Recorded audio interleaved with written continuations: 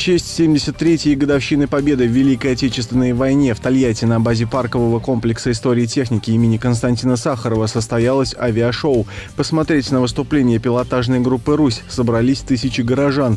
На самолетах Л-39 летчики имитировали парный бой, выполнили вираж с креном 60 градусов петлю Нестерова. В небо над Автоградом с флагом России и знаменем Победы поднялись вертолеты Ми-2 и спортивные самолеты Як-52.